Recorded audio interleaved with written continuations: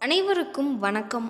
இன்றைக்கி நம்மளுடைய வீடியோவில் இதை பற்றி பார்க்க போகிறோம் அப்படின்னா பொதுவாக நாம் அன்றாட உணவு பழக்க வழக்கத்தில் கட்டாயம் நாம் சோம்பு பயன்படுத்துகிறோம் பொதுவாக சோம்பு பயன்படுத்தினா நமக்கு ஏற்படக்கூடிய நன்மைகள் மற்றும் தீமைகள் என்ன அப்படிங்கிறத பற்றி தான் நாம் தெரிஞ்சுக்க போகிறோம் இந்த வீடியோ ரொம்பவே பயனுள்ளதாகவும் சுவாரஸ்யமாகவும் இருக்கும். ஸோ ஸ்கிப் பண்ணாமல் முழுசாக கடைசி வரைக்கும் இந்த வீடியோவை பாருங்கள் நீங்கள் இப்போ தான் முதன் முறையாக நம்மளுடைய மாஸ் மல்டிமீடியா சேனலை பார்க்குறதா இருந்தால் மறக்காமல் நம்மளுடைய சேனலை சப்ஸ்கிரைப் பண்ணிக்கோங்க. அப்படியே நோட்டிஃபிகேஷனுக்கான பெல்லைக்கானையும் மறக்காமல் கிளிக் பண்ணிடுங்க. வாங்க இப்போ வீடியோக்குள்ளே போகலாம்.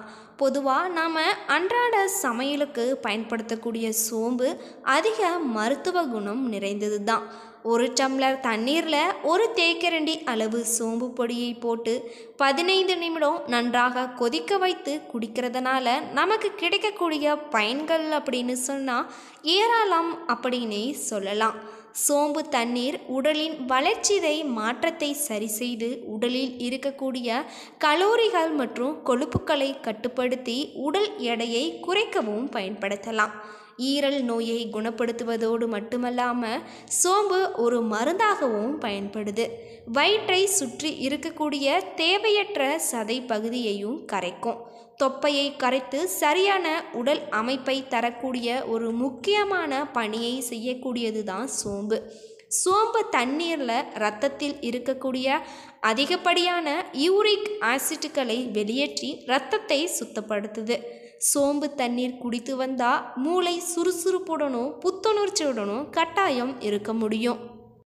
தூக்கத்தை சீராக்கும். சோம்பு தண்ணீர் மூளையில் இருக்கக்கூடிய பிட்யூட்டரி சுரப்பியால் சுரக்கப்படும் பொழுது மெலோட்டோனின் அப்படின்னு சொல்லக்கூடிய நேச்சுரல் ஹார்மோனை சீராக உற்பத்தி செய்து நல்ல நிம்மதியான தூக்கத்தை பெற வழிவகுக்கும். பொதுவாக நாம் சோம்பு தண்ணி அல்லது உணவில் சோம்பு பயன்படுத்தினா புத்துணர்ச்சியாகவும் சுறுசுறுப்பாகவும் உடல் ஆரோக்கியமாகவும் இருக்கலாம்.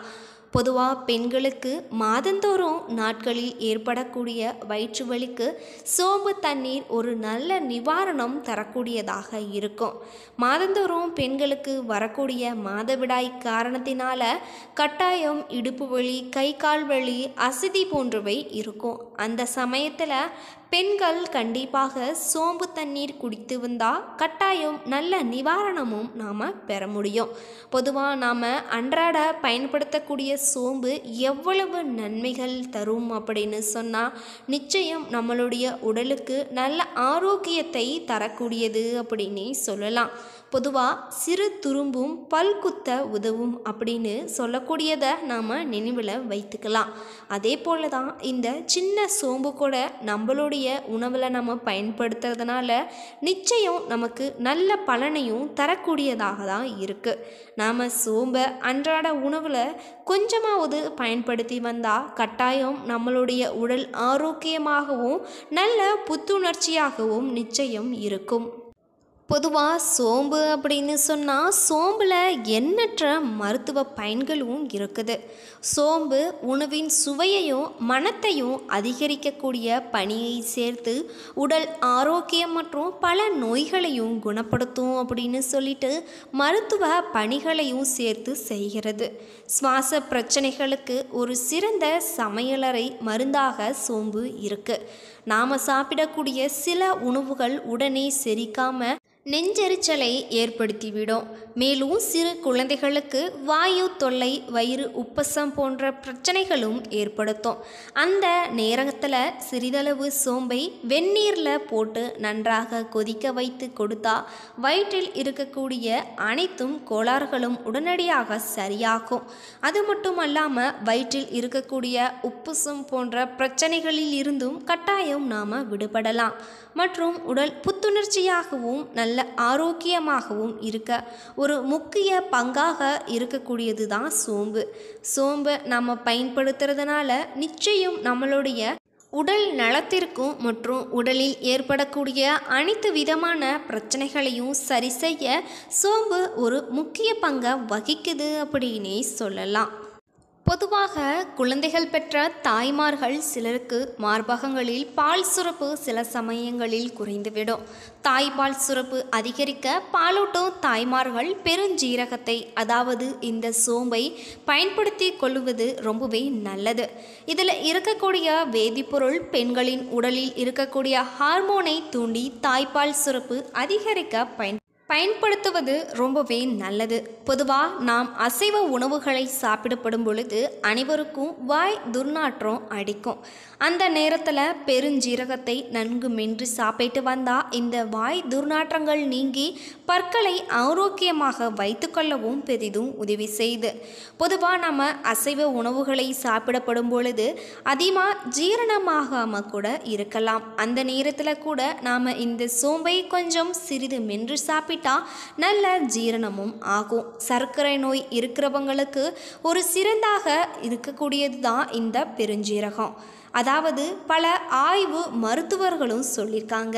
சோம்பில் குறிப்பிட்ட வைட்டமின் சி சத்துக்கள் அதிக அளவு இருக்கிறதுனால கட்டாயம் சர்க்கரை நோயாளிகளுக்கு ஒரு சிறந்த மருந்தாக இந்த சோம்பு இருக்கிறதாகவும் சொல்லியிருக்காங்க.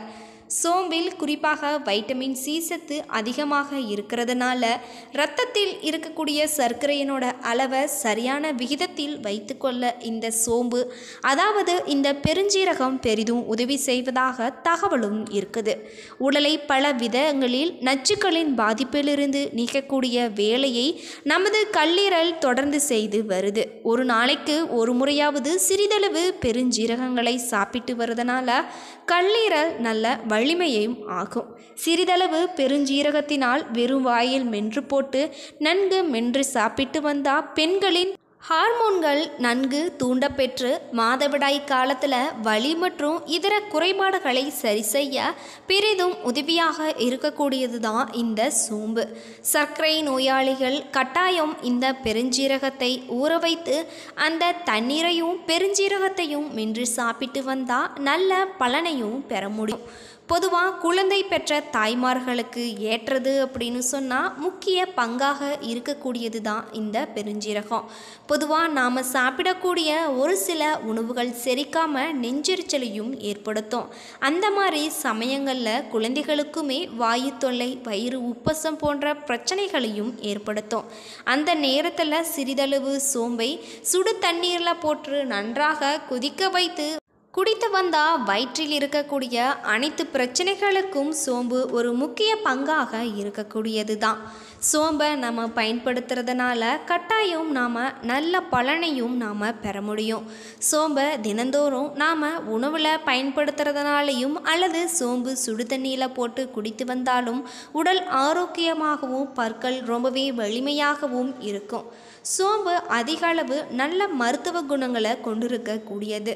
சோம்பு தண்ணீரை நம்ம குடிக்கிறதுனாலையும் நம்மளுடைய உடல் புத்துணர்ச்சியாகவும் ஆரோக்கியமாகவும் இருக்க பயன்படுத்தலாம். அது மட்டுமல்லாமல் சோம்பில் சில பெருஞ்சீரகம் அப்படின்னும் அழைப்பாங்க. இந்த சோம்பு உணவின் சுவையும் மனத்தையும் அதிகரிக்கக்கூடிய வேலையை செய்து உடல் ஆரோக்கியம் மற்றும் பல நோய்களை குணப்படுத்துவதாகவும் மற்றும் மருத்துவ பணிகளையும் சேர்த்து செய்கிறது தான் சோம்பு. சோம்பு சில சமயங்களில் நாம் சாப்பிடக்கூடிய உணவுகள் செரிமானமாகாத நிலையிலையும் கூட சோம்பை ஊற வைத்து அந்த தண்ணீரை குடிக்கிறதுனால கட்டாயம் நாம் நல்ல பலனையும் பெற முடியும். அது மட்டுமல்லாமல் சர்க்கரை நோயாளிகள் தினமும் உணவில் அதிகளவு பெருஞ்சீரகம் அதாவது இந்த சோம்பை பயன்படுத்தினா நிச்சயம் நல்ல பலனையும் பெற முடியும். ரத்தத்தில் இருக்கக்கூடிய சர்க்கரை சர்க்கரை அளவை கட்டுப்பாட்டுக்குள் வைக்க கண்டிப்பாக உதவி செய்யக்கூடியது அப்படின்னு சொன்னால் சோம்பு அப்படின்னே சொல்லலாம். இன்றைக்கி நம்மளுடைய வீடியோவில் அதிகளவு மருத்துவ குணங்கள் நிறைந்திருக்கக்கூடிய சோம்பில் இருக்கக்கூடிய நன்மைகள் மற்றும் தீமைகள் என்ன அப்படிங்கிறத பற்றி நாம் தெரிஞ்சுக்கிட்டோம். இந்த வீடியோ ரொம்பவே பயனுள்ளதாகவும் சுவாரஸ்யமாகவும் இருந்திருக்கும். உங்களுக்கு பிடிச்சிருந்தால் லைக் பண்ணுங்கள் ஷேர் பண்ணுங்கள் மறக்காமல் உங்களுடைய கருத்துக்களை கீழே கமெண்ட் பாக்ஸில் பதிவு பண்ணுங்கள் மேலும் இது போன்ற ஒரு பயனுள்ள தகவலை பற்றி நீங்கள் தெரிஞ்சுக்கணும் அப்படின்னா மறக்காமல் நம்மளுடைய மாஸ் மல்டிமீடியா சேனலை சப்ஸ்கிரைப் பண்ணிக்கோங்க. அப்படியே நோட்டிஃபிகேஷனுக்கான பெல்லைக்கானையும் மறக்காமல் கிளிக் பண்ணிடுங்க. நன்றி நண்பர்களே.